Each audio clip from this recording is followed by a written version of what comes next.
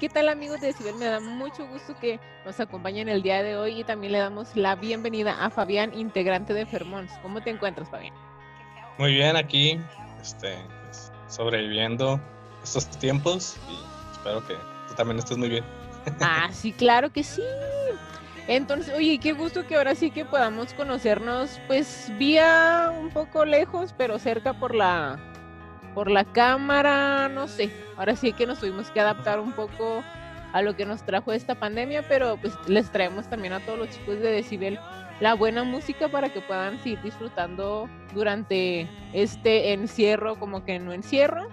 Pero ahora sí que cuéntame, Fabián, ¿cómo son tus inicios? Ahora sí que dentro de la música, ¿de dónde nace esa inquietud por empezar a trabajar dentro de esta industria? Sí, pues mira, si quieres que me remonte al mero, mero principio.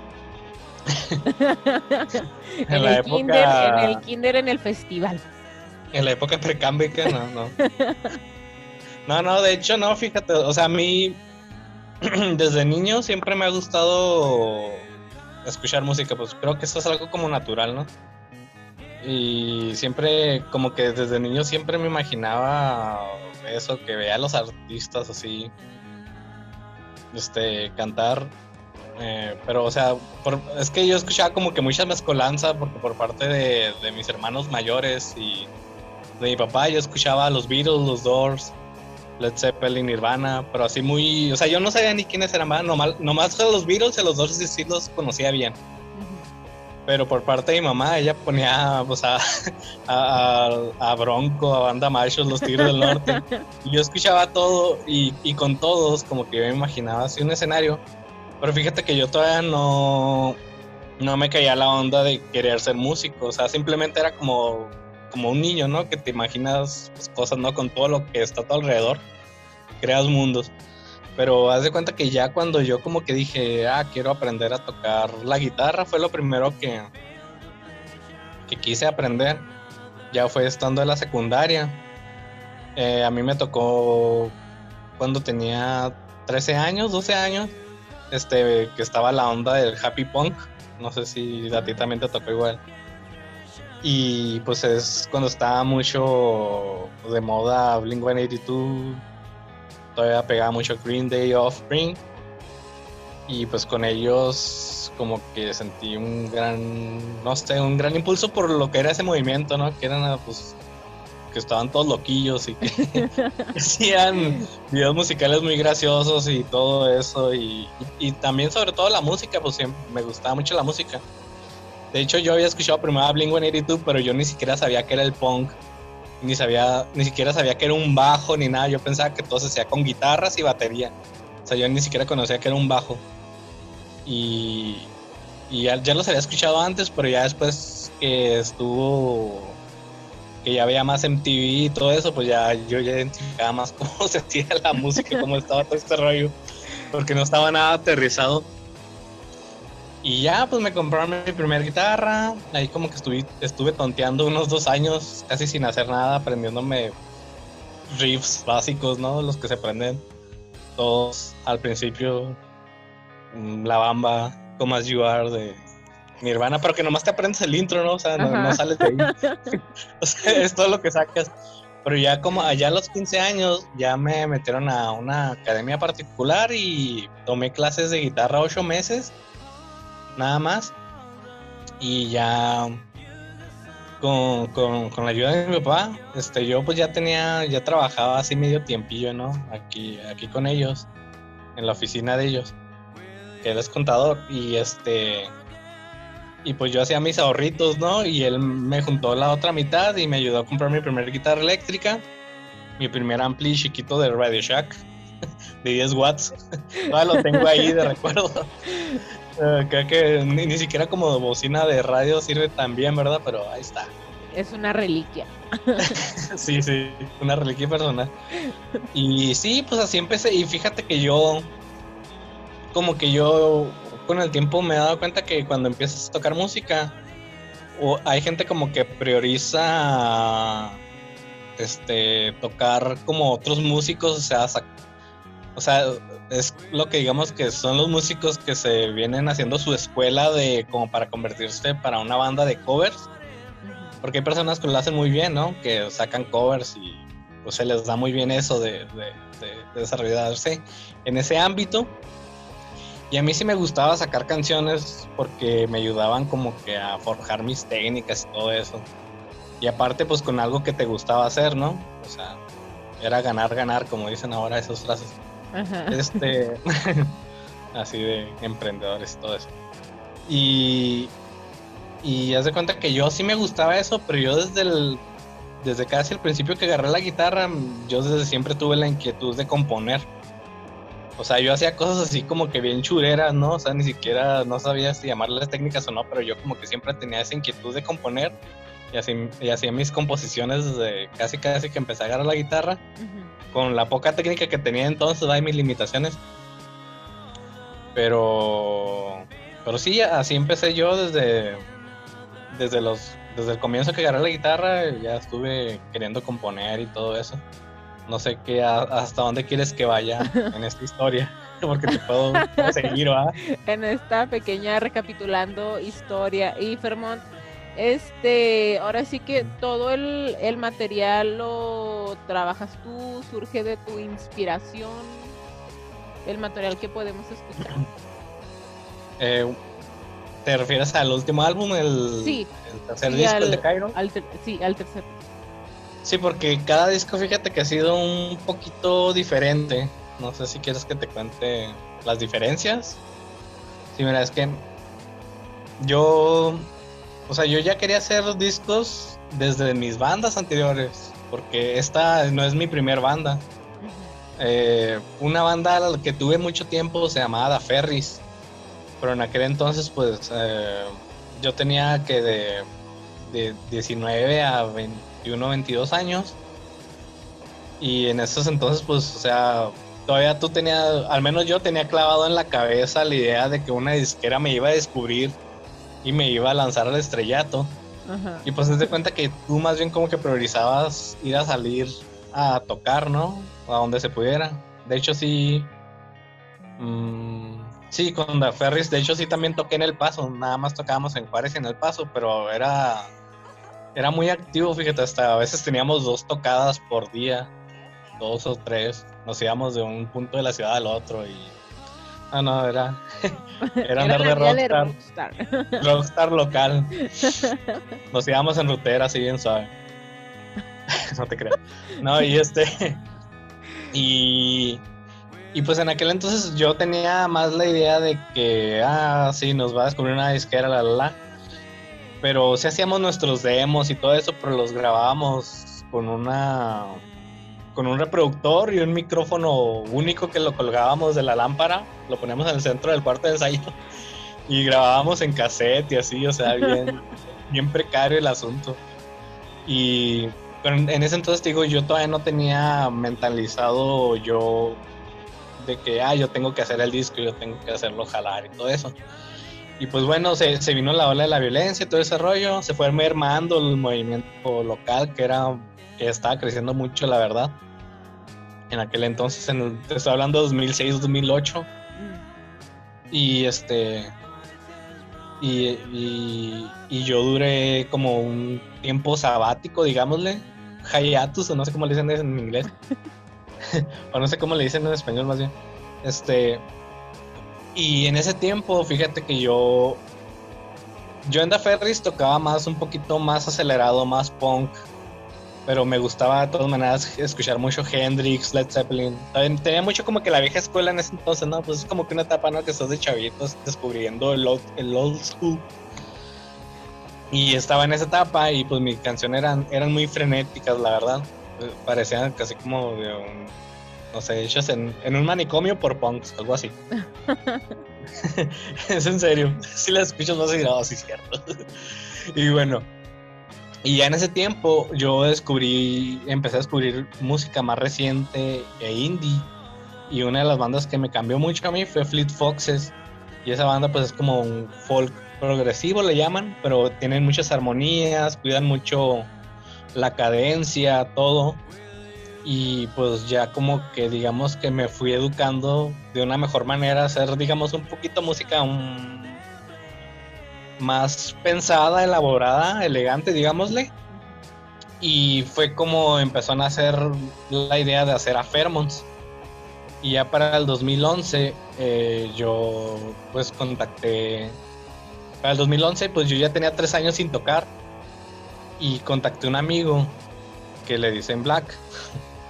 Este, y ellos tenían una banda, iban a tocar en el Freds en aquel entonces y en un tributo a los Beatles. Yo le dije, oye, pues que me han chance de tocar con ustedes porque pues, ya tengo mucho acá y me estoy oxidando. y me dijeron, no, sí, sí, pues buena onda y hasta los chavos se acoplaron mucho conmigo y, me querían en su banda y todo. Salió decente el, el tributo. Pero yo pues, yo quería más hacer mi onda de mi banda y en ese entonces le pregunté, oye, ¿tú conoces algún, algún músico, un baterista, no sé, con el que pueda iniciar una banda? Y ya pues él me recomendó con un chavo del paso, a Alex, y ya con Alex yo empecé a hacer Fairmonts y él trajo a, un, a otro chavo de Juárez, bajista Luis, y empezamos a hacer la banda, ensayamos las canciones, o sea, en ese entonces yo todavía no me caía bien el, rollo de que yo tenía que hacer el disco. De que yo tenía que aplicarme para buscar cómo y dónde así. Y duré como dos años tocando con ellos en vivo y en vivo. Y ya hasta como que me cayó la onda de, ah, mira, estas son las interfaces.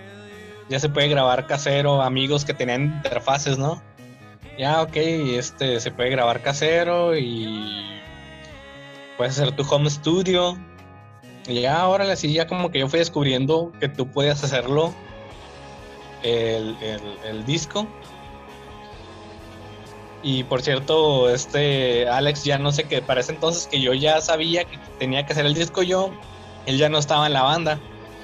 Pero yo, el primer disco, bueno, todo este rollo te lo conté porque el primer disco, a diferencia de los subsiguientes, es que el primero yo no lo hice con equipo mío. Yo busqué amigos que tenían interfaces y pues yo digamos que los rentaba a ellos y a su equipo para que me grabaran.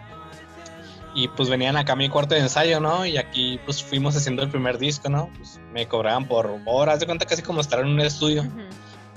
Y pues yo ya teníamos esas canciones en el 2011 empecé a tocar y en el 2015 fue cuando lo grabamos. Pues yo ya tenía cuatro años con la mayoría de las canciones del primer disco. Así que ya estaban más que ensayadas. O sea, ya, las teníamos. Era simplemente aplicarlas. Sí, casi, casi. Era casi. De hecho, sí hay una canción, la de What Else. Esa salió la guitarra y así varias cosas salieron en una toma en la primera. O sea, sí, como lo hice en la primera toma, así quedó. Y este, así lo tenemos ensayado. Y bueno, el primer disco pues estuvo muy ensayado, pues por la inercia, ¿no? De tenerlo cuatro años tocando. Pero ya lo que es el segundo disco, el tercero, ya para... Es que te digo, yo en el primer disco yo como que todavía le tenía alergia a las interfaces, al estudio, a, a yo saber moverle todo eso. Ajá, adentrarte ahora sí que totalmente en la producción. Sí, yo todavía era muy holgazán, así como que no quería aprender. Yo dije, no, yo, yo soy compositor, yo soy músico, yo, yo me debo de enfocar en, la música, que alguien más haga ese trabajo. Pero con el tiempo, pues, eh, pues te vas dando cuenta que es más redituable tú comprar tu propio equipo.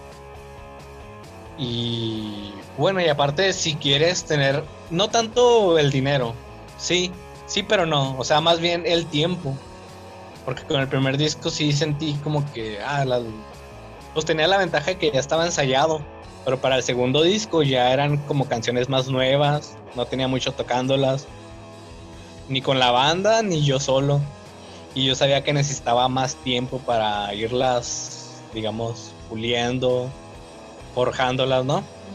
Y ya dije, no, pues sí me conviene mejor yo comprar mi propio equipo, así pues yo me tomo más mi tiempo para como hacer las canciones. Este, y ya pues yo para el segundo disco que se llama Hyperion, este me compré me compré una este una mezcladora análoga grandota así de los ochentas pero aparte me compré una interfase, ¿no? Y, es que yo me había comprado la, mezcladora para usarla como un preamp, así como para que le metiera el sonido más, más cálido, digámosle, a la interfase. Y ya pues yo empecé eh, con, el programa Adobe, que es así como usar Paint, en, pero para audio. Pero fíjate que que, que aún con tus limitaciones, es que yo empecé con ese porque era el más fácil de empezar.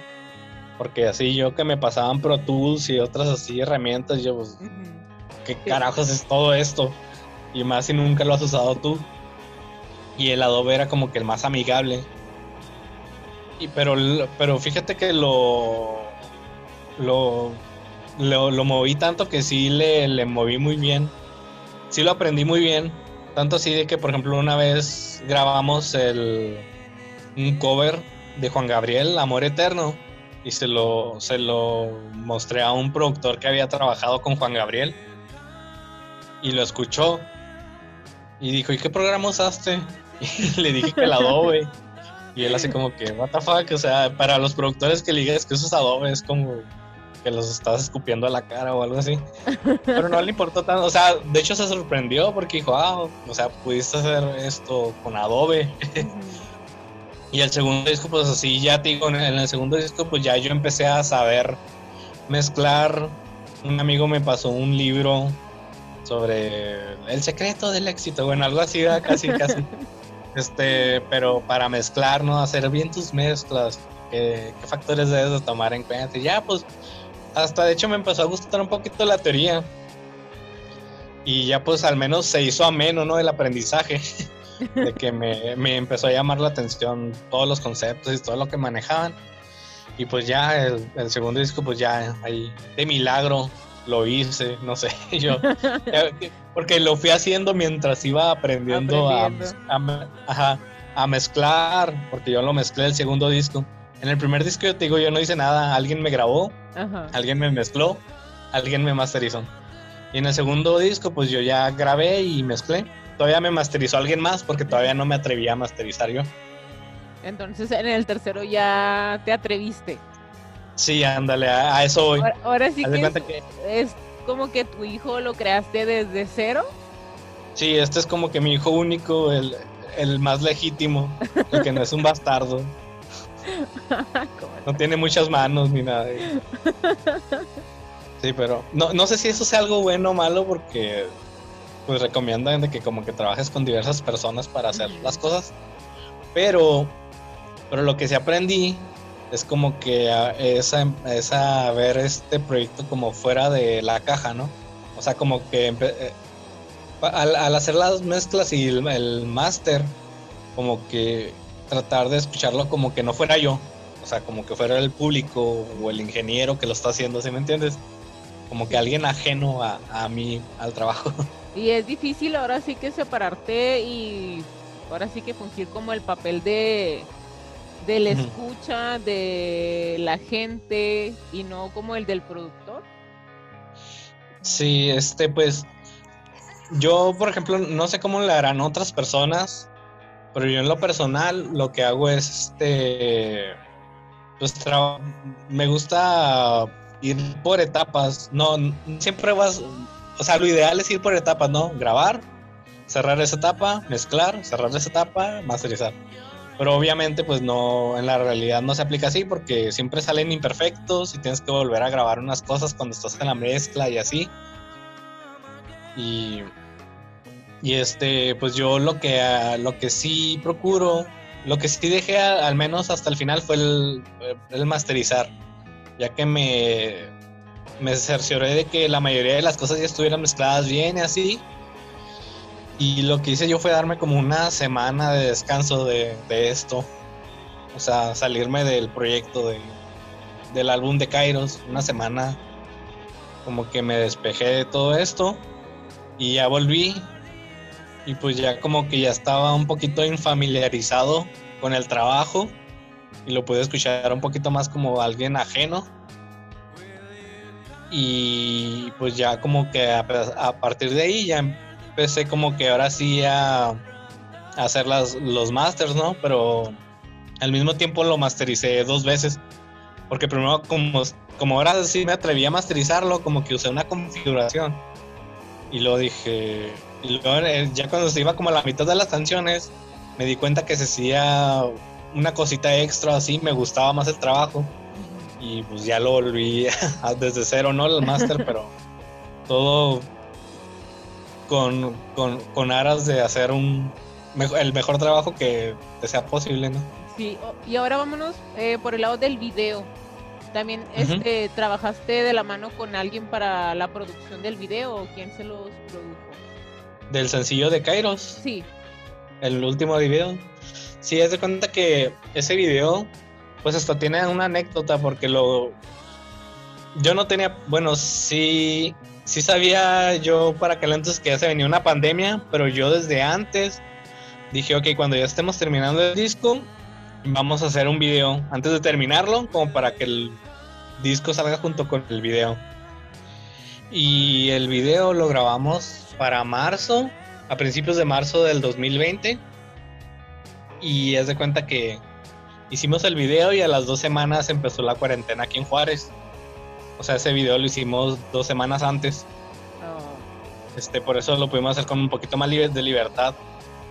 Y y de hecho, un chavo que estaba tocando conmigo el bajo. Uh, sí, un chavo que estaba tocando conmigo el bajo en, antes de grabar el disco. Que estaba tocando conmigo y Jesús. Eh, ah, Jesús es el último baterista con el que hice este último disco. Lo ah. hicimos nomás dos personas. Él grabó la batería y yo grabé todo lo demás, prácticamente todo lo demás que escuchan. Y él grabó unos coritos y todo eso. Y haz de cuenta que antes de empezar a grabar el disco, también, eh, de hecho, el que, el que tocaba el bajo fue el que me contactó con Jesús. Se llama Neri, el del bajo, y también el mismo, de Ángel. Y él hace videos y pues eh, ya pues me contacté con Ángel y él le platiqué esta onda. Y sí, pues accedió muy fácilmente, ¿no? La mayoría de la gente pues siempre está accesible y pues gusta. Sea fue mi idea, yo más o menos, yo la verdad mi idea original era irnos como al desierto y grabar entre antorchas y así luces artificiales, bueno, naturales más bien. Bueno, artificiales, pero fuego así, fuego tal cual. o sea, pero no, luz de artificial, ¿no? Acá de, de focos y eso. Ah, ok. Pero haz de cuenta porque estaba muy inspirada, porque la canción está muy inspirada en. Esa canción está muy inspirada en, en Deftones, la canción de Minerva, y en una de que se llama Dig, de, de IG, de Incubus. Y pues en su propia esencia, ¿no? Este video, esta canción. Pero también yo quería hacer algo así. Pero bueno, ya por X o Y motivo terminamos haciéndolo así como en un tipo baldío de sembradíos y fue la luz del video y todo eso. Y, pues sí, haz de cuenta que casi fue un video que se fue haciendo como que en una idea original, pero como que se fue moldeando a la red y me gustó, fíjate que me gustó más de lo que, de lo que pensé que iba a hacer el video. expectativas? Sí, de hecho, mucho. era lluvioso ese día. O sea, haz de cuenta que Terminamos el video, el carro se descargó, estaba todo encharcado. Eh, fuimos en medio del lodo a buscar a alguien que nos pasara corriente. Terminé todo enlodado y no, no, no, no, pero bueno, nos divertimos, ¿verdad? Parte de las aventuras que se viven en la producción de, del video musical. Sí, pues no sé si vaya a ser así siempre, ¿verdad? O si le pasa a todos, pero sí, así. así Anécdotas que se quedan grabadas. Sí, para el psiquiatra, algo así. Oye, cuéntame, este, ¿qué planes eh, ahora sí que tienes para el siguiente material? Ahorita están promocionando Kairos. Eh, ¿Qué sigue para, para ustedes? Eh, haciendo la rema, una pequeña a mediados de este año y también para hacer este otros videos musicales de, de este disco presente para hacer una, unos unos cinco sencillos más, según yo.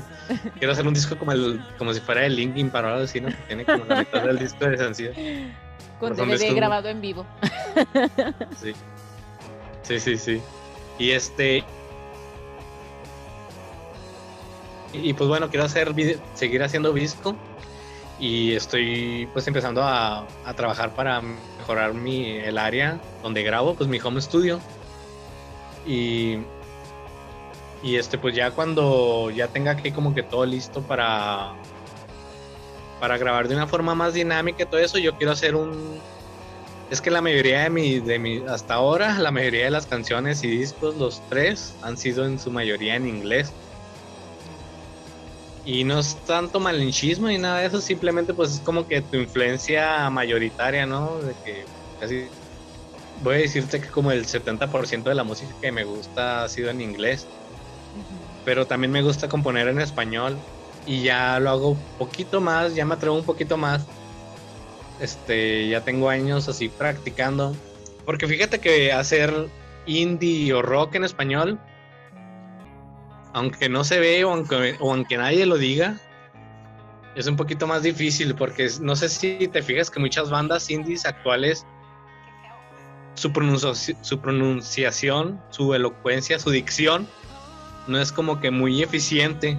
Sí, sí, sí notas como que hablan así como que... Y a veces como que susurran y ya no se entiende qué están diciendo. Sí, como que hablan palabras muy mochas o así porque... Porque pues es como que toda esa música está hecha más para decirlas en inglés, que eso es un idioma un poquito más suelto. Oye, what you doing? No, no, I don't know, man. O sea, yo estoy diciendo palabras que parezco chino. O sea, como que puedes decir un poquito más, eh, etcétera y el español es un idioma más marcado. Y pues como que tienes, como que tienes, como que es una tarea adaptar el indie para que funcione con la dicción del y, además con nuestro español, ¿no?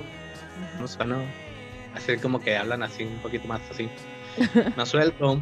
Y nuestro español es como que muy marcado, muy enojado, muy así como que tiene el acento en la segunda sílaba o X así.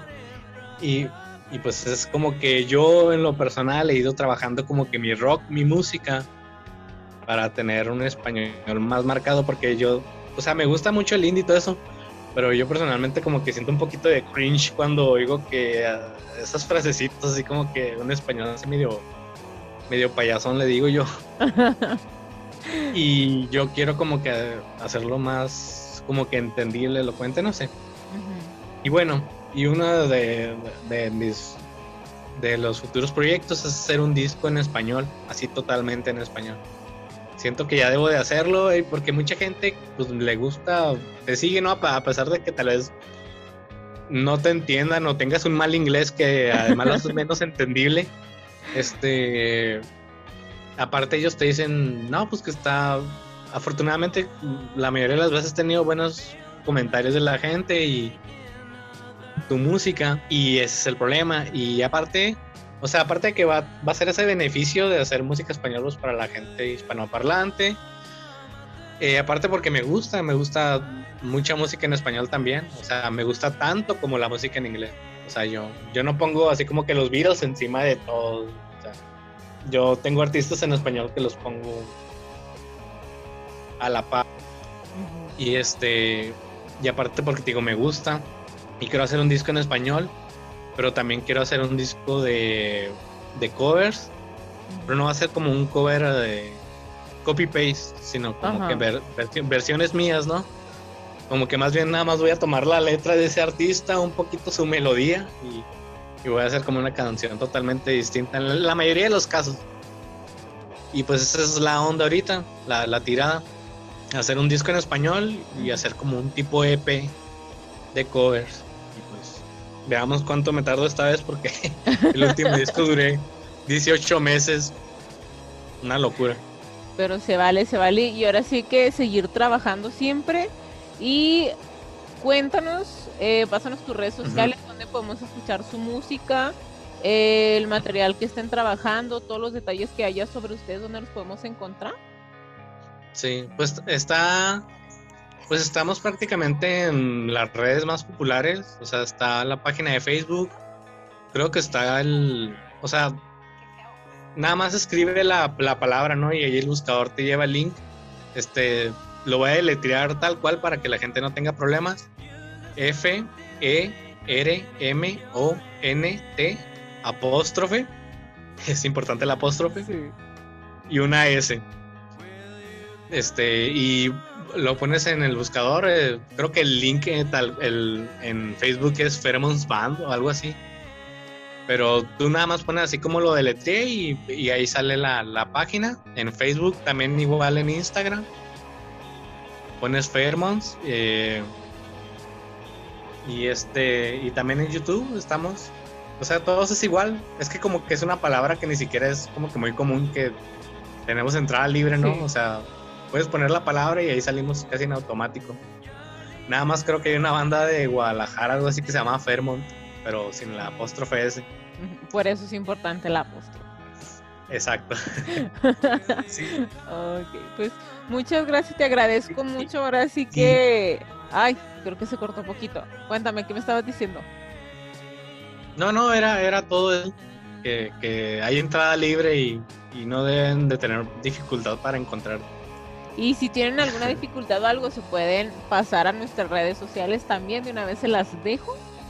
Eh, Decibel-JRZ en Instagram y en TikTok. Y en Decibel, ahí también pueden escuchar la música de Fermons. Ahí los estamos publicando. Si sacan cosas nuevas, eh, datitos, detalles, noticias, ahí lo pueden encontrar también en la página de Decibel. Y algo más que le quieras decir a todas las personas, al público, los que nos están escuchando. Este, no, pues eh, que le den una oportunidad tanto a mi banda como a pues a toda la escena que hay aquí, ¿no? Porque hay muchas bandas que le están echando muchas ganas y o sea, aquí siempre hay disposición de los músicos para crecer, para hacer una escena y todo eso, pero pues el público es muy importante para que eso pase.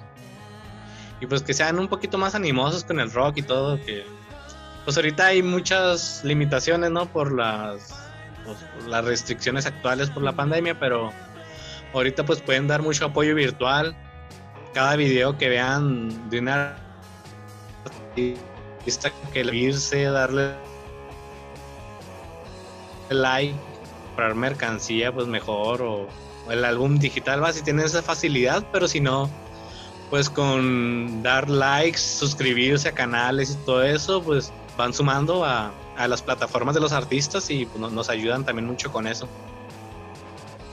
Ok, muy bien, pues ya escucharon y vayan a sus redes sociales, vayan a todas las redes sociales a escuchar la música y a seguir apoyándolos a estos talentos. Entonces, eh, pues sin más por el momento yo me despido. Muchas gracias a todos los que nos escucharon en este día y sigan reproduciendo la música de Fermans y, e ingresen a nuestra página de Cibel y nos vemos hasta la próxima. Listo, ya